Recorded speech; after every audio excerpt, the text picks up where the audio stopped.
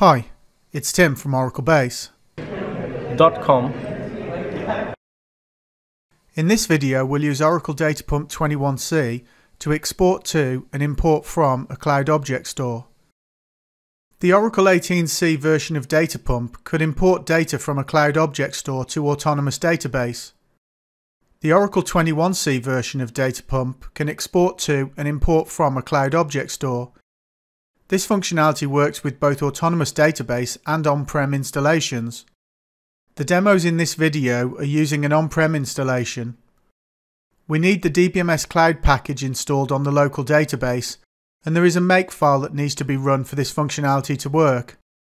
There's an article linked in the description that explains the setup. We connect to a privileged user we create a new user called TestUser1 and grant it some basic privileges. We give it the create credential privilege and grant it execute on the DBMS cloud package.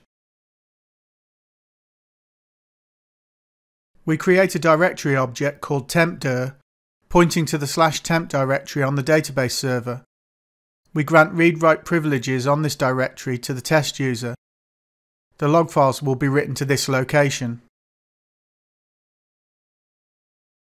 We connect to the test user and create a credential to authenticate to our Cloud Object Store. We call the create credential procedure, passing in a credential name, our Oracle Cloud user email address, and an auth token with access to the object store. We create a table called emp and populate it with the usual data. We select from the emp table and we see the data. We're now ready to use Data Pump with the Cloud Object Store. First we export some data to a Cloud Object Store using the expdp command. For the most part this looks like a standard table level export. We use the credential parameter to reference the Cloud Object Store credential, and we use the Cloud Object Store URI in the dump file parameter. Here we're creating a dump file called empdmp in a bucket called obbucket. Notice the log file is using the local directory object, not the bucket. We can see 14 rows in the emp table have been exported to the Cloud Object Store. This time we import the data from the Cloud Object Store using the impdp command. This looks like a standard table level import. We use remap table to give the imported table a new name.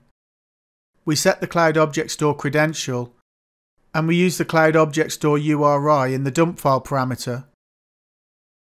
The log file uses the local directory.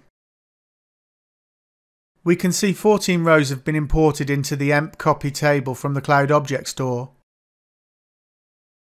As you might expect, exporting to and importing from a Cloud Object Store adds some latency compared to accessing local storage.